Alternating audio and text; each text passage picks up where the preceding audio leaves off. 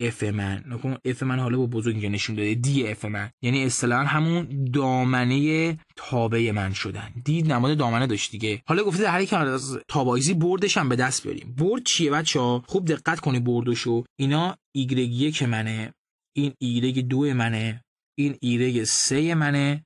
اینم ایگرگ چهار منه. من به بیام که خروجی هام باشه میگم برد. پس میگم آقا در نتیجه مقدار بی من برابر است با اعضای منفی یک چهار شیش و منفی سه. این که میشه چی؟ میشه R f. یعنی برد تابعی که من ازش خواهم داشت.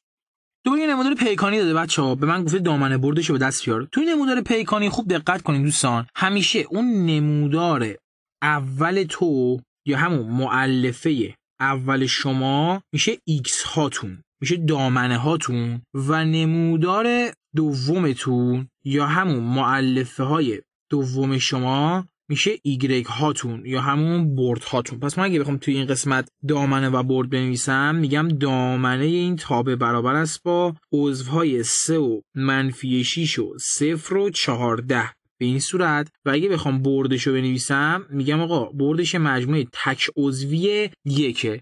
اینجا 3 منفی 6 0 14 که اینجا هستش. توی این قسمت هم دقیقا همینه. اگه بخوام دوباره بگیم اینجا این میشه نمودار اول ما یا بگیم این میشه مؤلفه اول ما یا همون x های ما یا اینجا بگیم نمودار دوم ما و معلفه دوم ما یا همون ایگرگ ما. ببین داستان چه قراره. توی اینجا میگه بخوام دامنه رو به دست بیاریم دامنه من چجوری میشه؟ میشه یک دو سه و چهار. برد من چی میشه؟ برد من برای میشه با عضوهای چهار و سه و شیش و صفر. اینم برد من خواهد بود. یعنی به این صورت تونستیم دامنه بردشون رو تعیین کنیم. بریم مثال بعد. دستگاه داده بچه دستگاه خیلی راحتیه نگا کن. اینا نقطه است. اینا مثلا می‌تونه مثل زوج مرتب باشه. چه جوری مثلا این نقطه نگا کن ایکسش یکه ایگرگش دوه.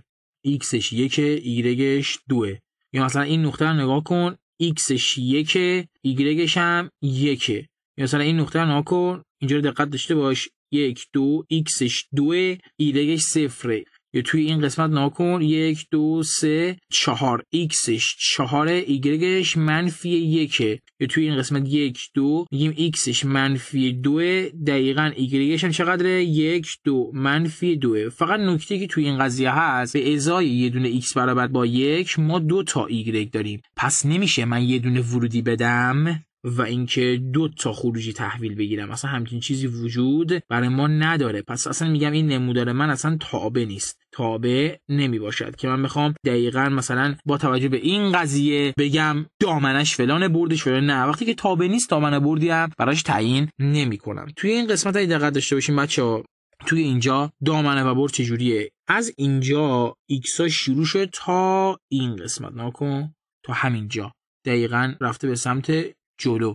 نقطه مد نظرمون این بالاست. یعنی این قسمت تابمون بوده که رفته جلو. این نقطه ایکسمونه اینجا رو نقطه ایگرک ها قرار داره. خب خوب دقت کنین. از این قسمت ایکس های من از این قسمت تا این قسمت حرکت کردن. نگا کن ایکس من اینجا تا اینجا رفتن پس دامنه این تابع میشه بازه بسته منفی یک تا یک دو سه تا بازه بسته سه دامنم شد از این قضیه. یعنی یه باز است یعنی همه اعدادی که تو اینجا هستن. حالا بردم چی میشه؟ برد منم دقیقا برابر میشه با می‌خوام تصویر نمودار رو محور ایگرک ها. از اینجا رفته تا کجا؟ تا این بالا. یعنی از این قسمت میشه برد من. از کجا؟ از بازه بسته منفی یک تا میکن یک دو سه چهار. مثبت چهار. این شد چی؟ دامنه و برد من. که تعریف بازه ها رو دیگه همتون قطعا بلدین و می‌دونین یعنی چی؟ یعنی توی این بازه یعنی محدوده توی این قسمت تو کلاس ریاضی نهم مثلا خوندیم. حالا بازه به این صورت نه ولی توی اونجا یاد گرفتیم که برای ما دامنه و برد رو اگه بخوایم مثلا به صورت محدوده نشون بدیم این بازه یعنی مجموعه عدد حقیقی. مثلا تو کلاس نهم اینجوری می‌گفتیم میگیم دی مساوی است با یک سری ایکس هایی که به طوری که این ایکس همون عضو آر باشن